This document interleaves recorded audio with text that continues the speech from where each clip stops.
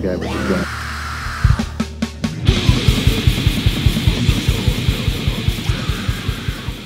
Hi there, fellow hobby dorks and heroes of miniature excellence. We're going to start a new video. This one is going to be on the topic of making bases for your uh, infantry stands. I've been noticing when I post my uh, photos of my work, you know, my infantry online, I'm getting a lot of questions and requests to make um, a tutorial. And I like making tutorials because I, I like sharing ideas. Um, I think, you know, if the internet's good for anything, it, it sure helped me um, with regards to my hobbies, making it more enjoyable and just, you know, the ideas people have are great, you know, and so I got to where I am mostly, mostly by seeing what other people have been doing over the years. Um, with regards to these these labels, it's not the easiest thing in the world to do a tutorial on because I'm using Adobe Photoshop and uh, InDesign, which are sort of design programs that only designers use. And you know, for example, my downstairs neighbor is taking a design class, and sometimes she wants to stab herself in the eye trying to learn how to do things in Photoshop and whatever. Now, we're not doing particularly sophisticated things in Photoshop. Nevertheless, uh, to, to break that down and show you how to use things like Photoshop and Adobe InDesign, and chances are most of you don't have those programs. So what I'm going to do is just show you how I build it in those programs, and then and then perhaps you can adapt it to whatever types of programs you have. But you'll need some type of uh, like a, a, photo editing or page layout. Um, I work on a Mac, so I'm familiar with Mac programs, but I, I have no idea what you would be using for a PC. But uh, you know, a lot of the methods that I use for for grabbing the uh, say images of a of a, a divisional logo or something online, and and you know, getting the right resolution and and and that kind of stuff, you could apply it to whatever program you're going to use. Um, and you know, and likely if you did know how to use InDesign and Photoshop, you would just look at the labels and instantly be like, "Oh yeah, oh, that's a good idea. I can make that." So, hopefully, this will be a helpful tutorial. Anyway, um, so I'll, I'll, just show you some of the things I'm, I'm talking about here. Here's one of my my boxes that I put infantry in. I buy these metal tins and I magnetize all the bases. Jam this into the photo view. Hopefully the light isn't glaring off the metal. Um, yeah, because then you can, you know, shake it around and your all your hard work isn't in threat of getting smashed to shit. So that's how I do that now. Um, show an example of one of these here. Bases. So yeah, um, this is an example of one of the uh, one of the bases I would make, or not bases, sorry, labels. I'm getting bases and labels mixed up. Mm. So for my Germans, uh, you know, there's a company sign. There's the Balkenkreuz, um, three Zug, two Gruppe. Um, Zug is a platoon, a Gruppe is a section, um, and I keep the German's kind of generic.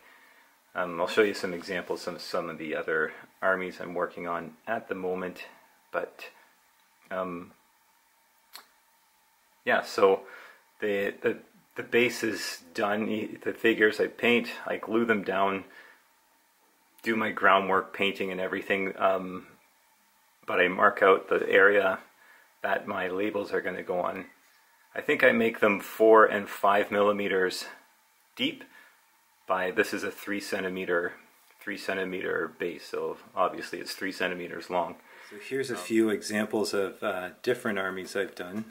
Um, and the different styles of basing. So this one, these are my Russians. I've done a like a guards company, guards unit. So the guards logo is here. Russian tactical symbol for a mortar. Um, you can find the tactical tactical symbols for many of the uh, countries and for the you know the World War II period online. This is a German. Well, we've already said this. The tactical symbol for an infantry. And then I couldn't find anything really for like Commonwealth. Um, this is a Canadian unit, so I just used the the um, NATO tactical symbol. So that's a motorized infantry squad, and it's uh, a carrier section. You know, this is what you end up with. Uh, a page, and I just print them off. And then when I go to put them on the uh, the bases, you know, you just cut them out. So I always make sure I have some duplicates in case I screw one up when I'm going to cut it out. You can also do like all kinds of road signs. Um, I do, let's see, I do like these little markers um, for ground hugging or, you know, unit disposition, that kind of thing. Or these little chits I use for hidden markers. You can literally just punch them out with a hole punch and then hide them under a terrain feature for like a, a hidden hidden um, deployment, um, shop signs for some of my buildings. Um, yeah, so that's how the, the finished product looks. So I just get these printed off at uh, Staples. I don't even have a printer because I find the bloody ink for so much more expensive. I just get someone else to do it and it's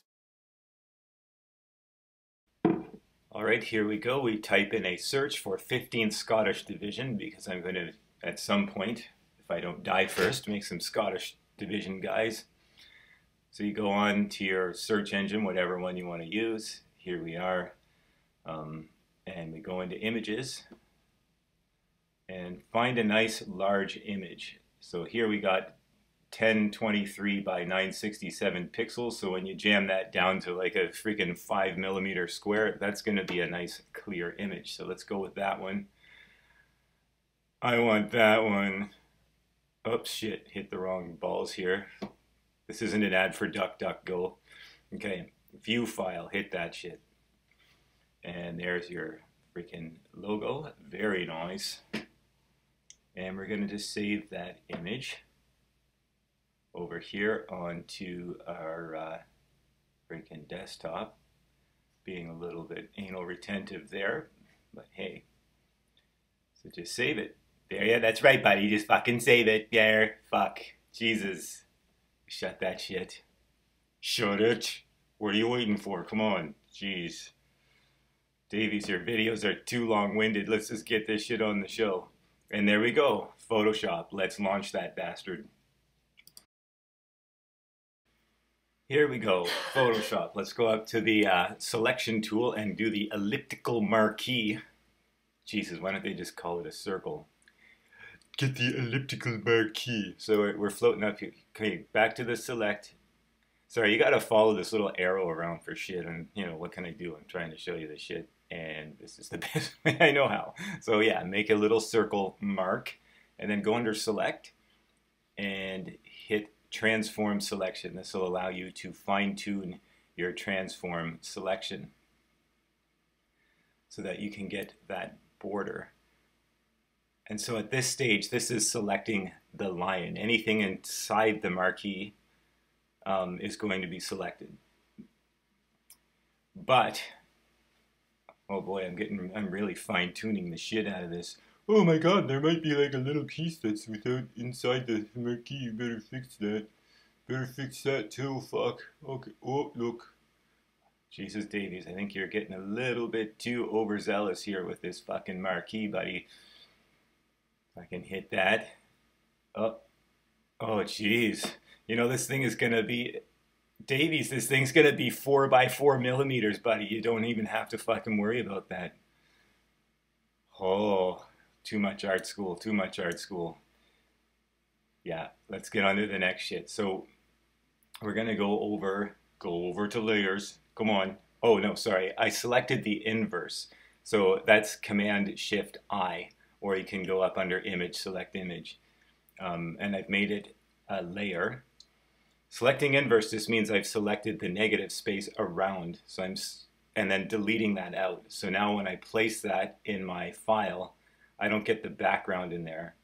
Um, typically that that logo had a black square around it. Sometimes it didn't. So this just allows me to change whatever background's in behind the lion logo.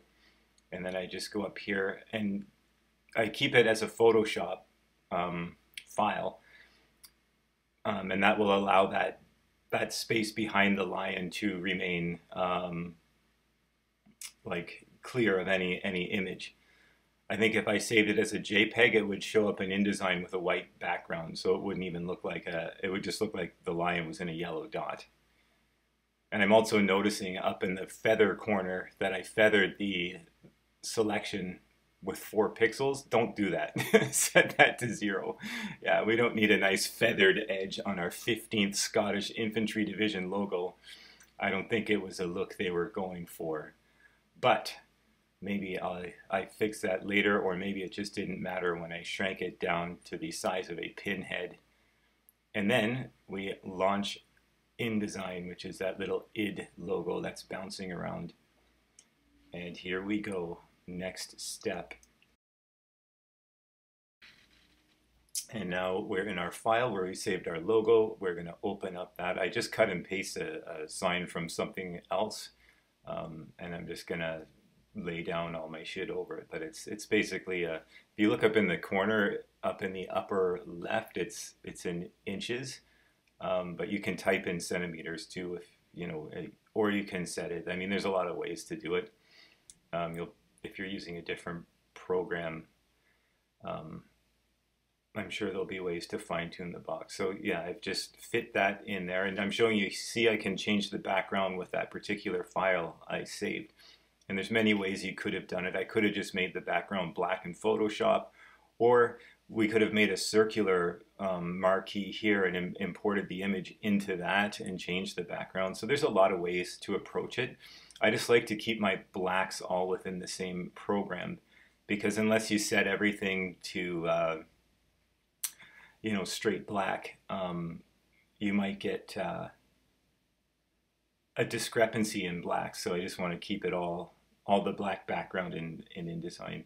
Here we're going to do different fonts. So you know the fonts are up here. Um, this one is Boston Traffic, but you know look all these dumb fonts, freaking Oh, look at balls. See? So the cool thing is, is you can go online and find a lot of the fonts that are like kind of typical World War II fonts. Like for, for British and Commonwealth, um, if you could find like a Futura stencil or something like that, you know, that'd be, that would be perfect. Or, you know, there's some of these things that look kind of, kind of Hollywood war movie like. Um, yeah. Good German fonts, since we're on the topic of fonts. Um, Urbar and DIN were very common. So that that uh, that uh, Panzerschreck beside the one I'm working on, that's that's um, DIN, D-I-N, and you can find those on those free font sites. So you know, free fonts. Just do a web search for free fonts. Plus, you know, if you're working on a Mac, hit Mac or whatever. If you're working on PC, you can get that shit and just load them up in your computer and fire it up. So I'm not going to spin around these damn fonts anymore. We'll get on to the next part. Okay, I'm gonna, I've made a black box here just so you can see me make this white tax symbol. Um, so up here is your color palettes and there's a stroke and a, and a, that's the one that you use to make a stroke. The other one is if I wanted to fill the inside of the box white. Um, and there's a thing here where you can adjust the size of the stroke, like the thickness. Here's a line tool, and then just bang from one corner to the next, blah. And then we go back to our little strokey shits. It's already set to white, so we just hit, you know, 0.5. And uh, then we're like, hmm, maybe I'll make another little line just like that. And uh, I'm not going to get too deep into how all this InDesign shit works, I'm I'm assuming you'll probably just do something like this in, in whatever program you have, like Corel Draw or something. You could totally do something like this in Corel Draw, I think. I don't know. I'm not a, I don't know. I'm just coming up with shit. I, I'm not sure how. This is just how I do it. I don't know. Fuck. I use this thing. And uh, I'm thinking, though, there's got to be other programs. Yes, these, these actions are pretty simple. So you see, I'm just basically drawing this shit using the tools over there on the left. Um, there's different select tools. That white arrow allows you to um, select the points and, and, and move them a little bit to fine tune. Um, let's see what I'm doing here. I'm, I'm recording this all after the fact, so I'm just talking as I'm watching this shit. Um, I'm, it looks like I'm going to group this and then I'll select this on the top and then these things up here allow you to align it. So I've just clicked the uh, center tool and now the little the little freaking line on the top that makes that a company, I think that makes that a company. Um, I've just selected that and put it in the middle. So now I just deleted everything. I don't know why. anyway, yeah, I think I was just showing you because I already had the symbol made. And uh, yeah, we'll go on to the next part. So once you have one, I just grab this thing and just hold down the option key and drag it and it copies it. And then you can start making all of your different units and sections. Um, I added a cat badge from this particular regiment. I can't remember the name now. I'm again, I'm narrating this thing months after the fact. Um, so then, you, yeah, you just type in the sections that you want. I think ultimately I took that cat badge out because I thought it was a bit too busy. Um, but there, you know, there's different things you can do. Like with the Panzerschreck guy, I added the the Zeltbahn camouflage material, um, and that's basically just a picture that I grabbed off the net of the Zeltbahn, Zeltbahn. and then I imported it into. InDesign and did a gradient on it um, to get that. Uh, so whatever program you use, you can. I would um, explore all the different options you have within that program with things you can do with images. You know, you could do, I often do drop shadows on the text or, yeah, like gradients on the on your images. Um, and then you can just add more creativity to however you want to mark these things up. You know, the the uh, the guys over here on the far left are are Hungarians, you know, I kind of went super geeky crazy and got a Hungarian army when all that cool shit came out with the uh, with the Zrinyi self-propelled guns and stuff. So yeah, there's my Hungarians.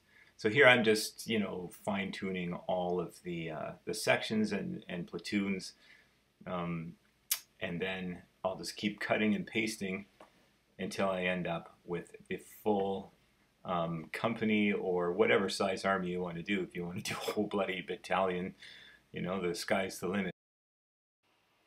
Um, I'm using uh, this bunch of uh, labels that I made for 43rd Wessex Division just to grab all of the various uh, tactical symbols off of so I don't have to redraw them all again. And you just copy and paste all this stuff and move it around um, closer to where you're working and then you can just pull the images that you need off and um, it makes it a lot faster and a lot easier to get this stuff done obviously.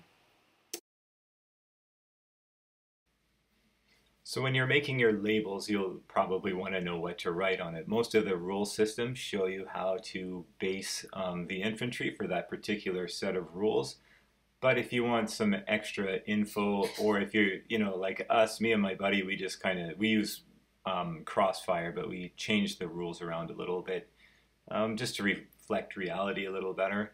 So I'm finding my uh, my website that has all these uh, tactical organizations and and um, establishments. It was a website called Bayonet Strength. I think it's gone and it's archived here. The URL's up in the uh, upper left hand corner there, the URL box. And it gives you the uh, the TO and E of like most of the World War II um, armies involved. I put in a slightly different web search, and here we get a lot of other information on British infantry companies. And look under the freaking images. Um, these are great, you know. this is nerd paradise here. I love this stuff. you can see all of these things and how they're organized. This is an artillery battery. Oh, you know, this is modern stuff. Um, yeah, I mean, the web is full of great resources. So, how can you go wrong? All right, friends, here we go with the next step. So I'm going to put a label on this, um, let's see if we can get some focus in there, this MG42 team. So you can see I've left a, a space for the label and just on my basing as per normal. Um, usually I put the labels behind the soldiers, but in this case they're prone, so they're too long, so I'm just going to jam it on the side. No big deal. It's all the same process. so you get your labels. You've printed them out. Um, so you want to print it on high-res printer paper. Um, I would do a test run with uh, just black and white normal paper. Make sure that all the resolutions on your images are good and, and on your fonts. Um, if they're not, you know, you can resolve the issue, get a higher resolution image or whatever. Um, if there's some troubleshooting, you can do a Google search, try to figure out what's going on. Get your file proper and then print it out on the high-res paper, especially if you're using your own ink. You don't want to waste a bunch of printer ink.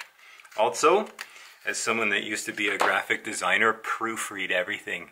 Yeah, and maybe even get someone else to look over it because you might miss things. Yeah, and then you print it off and once again what's even worse is when you've got it wrong and you actually put it on your base and then you think ah shit so give it a little proofread. Look at the quality of your your images. And then use I cut it out with scissors first and then do the fine cutting with a metal ruler and an X-Acto. Pretty easy. But also make sure you print extras because if you slip and fuck it up, you're going to say bad words. And maybe drink a little bit. So have some extras and then you'll be good. And I usually, when I'm cutting this way, press straight down on the ruler and um, use a couple passes to get through your cut. Because it's usually when you're pressing really hard that the ruler's gonna like slip and you're to cut right through your label. And I'm not using the cork edge. I find when you use the metal edge down, um, you can see your line better. Like the edge that you want. So I do it that way.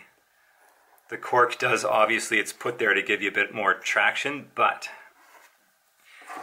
um, it's harder to get your edge um, perfect. So Oops. So, then once cut out, you just jam it in the space provided like so. And what I use is this thing that I've showed you before in my barbed wire video. I think. Maybe I didn't, I don't know. Anyway, golden soft gel. This stuff is the bomb. It's going to set you up nicely.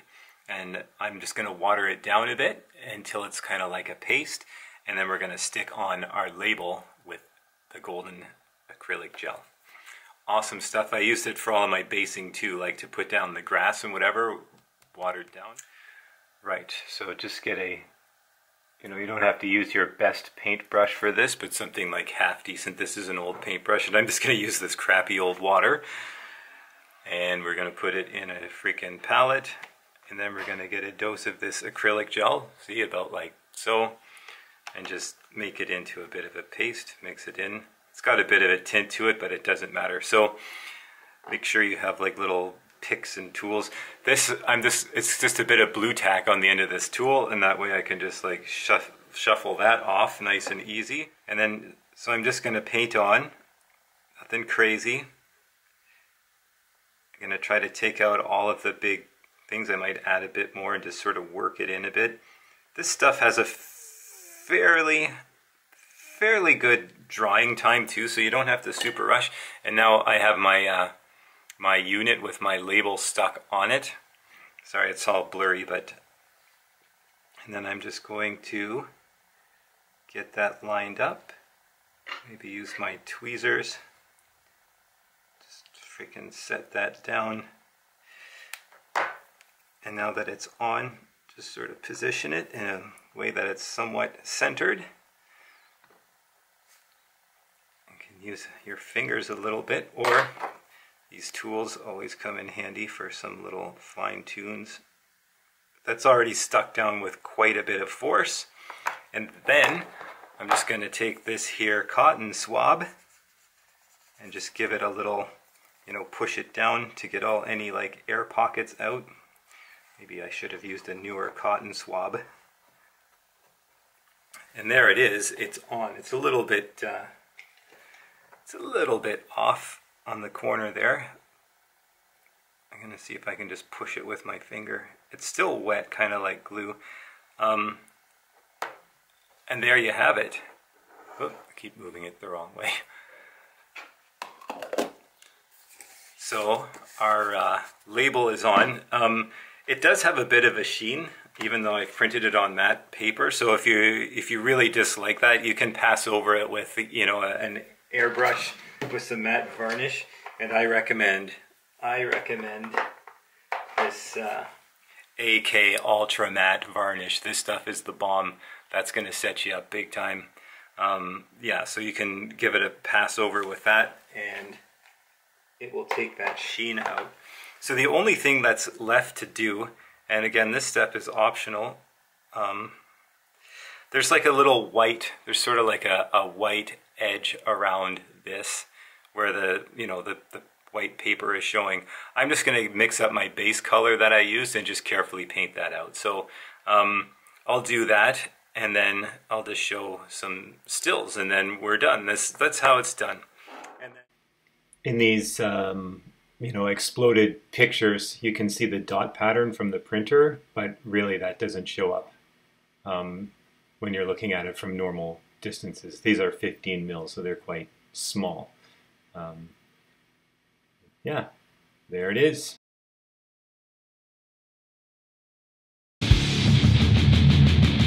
This is the end of the fucking video.